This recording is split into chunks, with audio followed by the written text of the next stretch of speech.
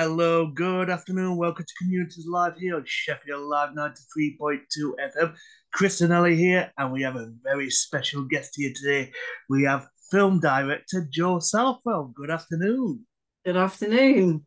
Thank you for having me. Thank you for joining me. So, for our listeners at home, um, give us a bit of background. Tell us a little bit about yourself. Oh gosh, where do I start? Um, so always been a filmmaker. I think ever since I was pretty much about three years of age. Um, always running around, living in my imagination, was convinced I was a Jedi Knight. Um, and that was my destiny, basically, to to have a, a lightsaber and you know stop Darth Vader and all the rest of it. Um, so that was kind of like my childhood, um, very, very much so. Um, and I still have that very strong feeling, like a lot of filmmakers. You know, one of the first times that I went to the cinema, sort of sitting in this sort of dark room, popcorn, watching a movie, and just being completely sort of transformed and wanting to live in the world that I saw on the screen and just thinking it was absolutely magic and wanting to be part of that. And that really hasn't changed. I'm still the same now. I still am a Jedi, and um, I basically want to live in the work films or you know, as I don't do any acting anymore, I used to do a lot of acting, but I'm very much want to create worlds for the screen. I love visual storytelling, and yeah, I yeah, I just love it. I mean, let's talk about about influence. I mean, you mentioned mm. like Jedi, so I'm assuming you're a massive Star Wars fan. But outside of Star Wars, what is your other influences? Um, so I love mythology in general, actually. So the idea of a story um, you know, built by something slightly fantastical. I, I definitely do love that. That I've had. Um, so my some of my family are Irish. So I've had very strong influences from there. So even some of the Irish mythology has, has influenced some of my films.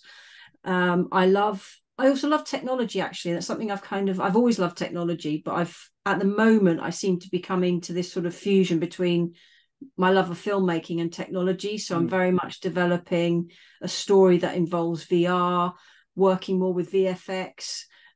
So taking, yeah, that side of things um, and bringing it into my own normal narrative work.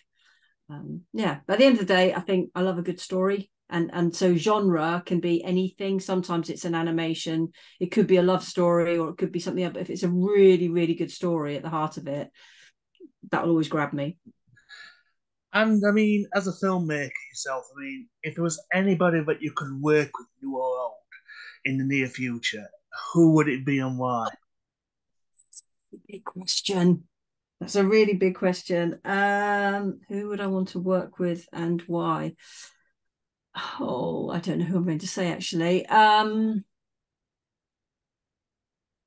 well, I definitely want to. This is this. I definitely want to work with my producer Sarah again, but on a feature film. So she produced um, Echo with me, and I absolutely loved working with her, and I loved the environment that was created and the type of set that we had. So I would absolutely love to work with her again.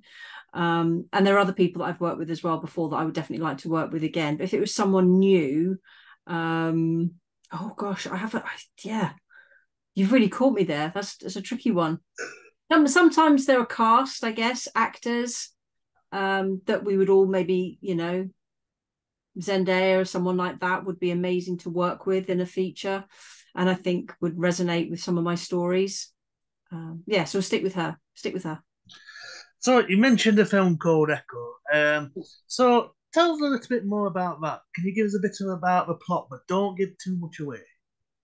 Oh, okay. Um, so Alice is our lead, and the story is it's an imagined memory for Alice. She's a mother who's lost something, and Echo is a story of what she's trying to find. Right. Okay, so well, that's short and sweet, and uh, yeah, is that okay? I was trying not to get, say it too much. so we'll keep it. We'll keep it real, and uh, but um, in during making of Echo, I mean, was it quite a long process, or was it did it come together quite quickly? So actually, the pre-production was a long process. Um, the original story, I wrote it like many years ago as a short story, as a narrative. Mm. Um, and I've been playing with that idea. Could it be a book? Could it be a longer story? Yeah. I was looking at it in all sorts of different ways. And like you do as filmmakers, there was various film funds that were coming up, and I was looking at different ones, and I felt that the story of Echo as a film would fit different, you know, different things that were out there and available. And I tried pulling it apart and playing with it and trying to almost change the story to fit a funding module. Mm. And then I went, no, this is wrong. It doesn't. I'm I'm damaging the story. So I went back to a more of an original version, which is is is what we have now. And I had met Sarah through Creative um, uh, UK female founders, and we just gotten on very well, and we wanted to do some bigger projects together. But we thought we'd start with a smaller project and see how we got on. So I sent her Echo, and thankfully she fell in love with it and just said, "Yeah, this is my kind of film. I really want to try and make this." So because there's um, it, it, obviously lends itself well to the fantasy genre. There is extensive VFX, there is underwater cinematography. All of that takes a lot of planning and also, you know, had to raise certain amounts of finance to actually help us make the film. So that took a big chunk of just under a year to do the actual filming of it was very very short. We had we only had two days down on the beach and then we had two tank two days in the in the water tank. Right. so the filming was the shortest part. I would have in, in you know in your ideal scenario i probably would have liked one more day on the beach but it just wasn't to be. And then post production so editing and creating the vfx that took from so the october through to december.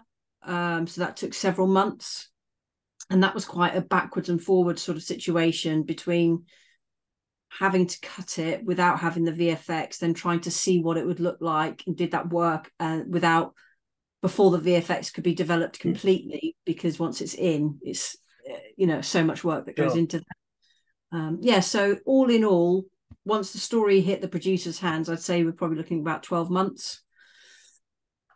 And I'm going to ask, I mean, uh, we've come out of COVID now, and uh, COVID was a bad time for everybody. Mm. I mean, filmmakers, everybody alike.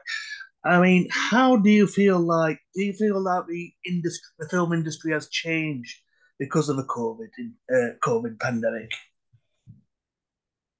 Do I think? I think. I think the positive thing about COVID was that as creatives, you had to find a way to get through that time. Some people went on and made Zoom videos or Zoom films. Yeah. I did a lot of writing and developing. Um, so there were, you know, from those points of views as creatives, I think you always kind of find a way through. Uh, I also do. Um, I'm also a TV director, so I'm not just an independent filmmaker. I'm a TV director. Wow. So COVID was a very strange time. Some of the first things that I was directing on set for TV were during COVID, and that was really strange having a mask, having to be two meters away from not only my cast but also my crew, and you know, for all those people who've been on film sets. As a director, I'm like, I was chatting to people, need to go and see what it looks like, you know, and it's a very personable situation. And that was all stripped away. Yeah. And over the next sort of nine months, I think getting back onto set, with graduating degrees, people being aware of protecting each other's safety and trying to respect each other, and everybody feeling differently about the whole pandemic. It took time. Um, the sets I've since worked on are all, I think, better places for it in a way because if anybody does have a slight worry about anything, they feel that they're now in a position to be able to voice that, which I think is great. Um, but obviously we've had strikes the strikes that have been happening mm. um, the SAG strikes and everything and that's had a massive effect on us over here in the uk i think more so than maybe people realize so filmmakers have had the pandemic to survive and now they've had this to survive as well which has actually stopped a lot of work for a lot of people so um, yeah it's a, i mean i want to actually ask about that. I mean, I don't, I, I don't want it to be too controversial, so I hope mm-hmm. it's not going to be a controversial question. I mean, what what are your thoughts and feelings about using AI? Uh, I don't find that controversial for me personally. I, like I said to you, I I um, I like technology. I like the use of technology, but I think it needs to be used responsibly because I don't think it should replace humanity. And I think the um, if AI, any form of AI tool, if that's implemented and it replaces a person and that therefore their job, I think that's obviously detrimental to our whole creative industry. Um, if it's used as a tool like lots of tools, you know, no different from, I don't know, Canva to PowerPoint to help you create a pitch deck. There are AI tools out there that help you do those sorts of things. Then I, I, I don't, I don't mind that, but I would never want it to be used to replace a person who's a creative because Sure. that'd be awful. well, thank you for that. Thank you for that answer, Jo. Uh, I mean, for our listeners at home who uh, want to break in this industry, Mhm. uh, how difficult is it? And also, what advice will you give for those who want to break into this kind of industry? Um, so yeah, I think if you want to get into the creative industry, so if you want to get set in film and you're not kind of sure what area, but you know you love films, you love watching films, and you'd like to make films, I think there are kind of different ways of going about it. Some people choose to kind of go to uni and study it that way, and that's great. Um, and then other people um, just go out and start making their own stuff on their phones or, or whatever the devices they've got. And again, that's brilliant. Uh, but what I would always say is that you need to try and find ways to actually get on a real set and start seeing and learning all about all the different jobs, the hundreds of people it takes to actually make anything. Um, I started off as a runner, you know, driving cast around, dropping them off, picking them up, getting them cups of tea, all that sort of thing. And I don't think any of those things have made me, uh, you know, they they all stood me in, all stood me the test of time, as it were. That you know they all helped me um, get to where I am now. So I think there's much experience across the board of everything to help you decide what it is you actually really want to do, and then you can start following that path. And uh, you've also been nominated for a short film award. So Mm. tell us a bit more about that. So Yeah, well, this is um so at the moment my short film Echo is obviously out at the festival circuit. So we've uh we've recently won a number of awards um at various film festivals. Um it was screened with the British Urban Film Festival, which this year was done um, up in Yorkshire, which was amazing. So it was screened up there, and we won an award there. And we've won a couple of awards at some London-based film festivals. And yeah, it's really exciting. I think what's lovely is that we're winning awards and being nominated for like best fantasy or best UK short, which is for me utterly amazing because it means people really enjoy my work and they understand the film. But what's also nice is that some of the awards, like for the one, there's one coming up for this evening, which is um, for best editor. And then we've had a best cinematographer. So it seems that, and best sound uh, soundtrack as well. We won best soundtrack recently. So I think it is like people are recognizing different skill sets that are that have all been involved in the making of this film, and I think that's brilliant for all the creatives involved. and I want to say I wish you the best of luck for tonight as well. Oh, thank you, thank you. Uh, and uh, for I mean, um, any is there any future projects that you're currently working on besides outside of Echo? I mean, yeah, no, there is. Yeah, no, definitely. I've um, there's one that I can tell you about, which is called Running Out, and it's a feature film, and it's about a woman who is quite isolated. It's set in a sort of dystopian future, and she's looking for her perfect relationship or her perfect partner, but in the VR world. And she's becoming obsessed with using VR to try and find her future partner. And all the time that she's spending in the VR world, she's actually being stalked by a deadly predator in real time. interesting. Yeah, I cannot wait to see that. film. So, nice um, thriller. so I mean, and uh, I mean, for our listeners at home who want to see Echo, Mhm. um, how can people get a copy of it? Is it on digital platforms or is it on DVD?